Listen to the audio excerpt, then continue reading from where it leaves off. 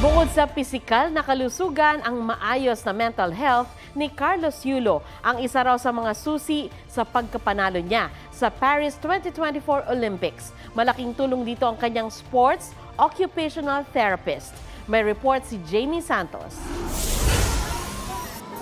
Pangangalaga sa mental well-being. Isa raw iyan sa tinutukan sa training ni Carlos Yulo para sa Paris Olympics, ayon sa kanyang sports occupational therapist. I believe that having that um, part of the plan na babawasan po yung stress ng atleta and anxiety kasi meron siyang outlet meron siyang um, karamay doon sa proseso na napakahirap naman po talaga.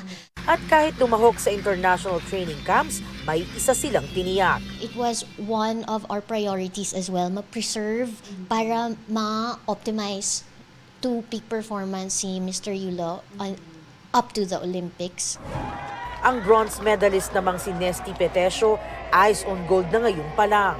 Walang ginto, hanggat walang ginto. Yun. Lumipad naman ngayong gabi si EJ Obiena para magbalik training para sa kompetisyong sasalihan sa susunod na linggo. keep doing my best. Uh, the season's not over. There's still a few competitions for me to take part in this year, and uh, hopefully I'll be able to retain my world ranking.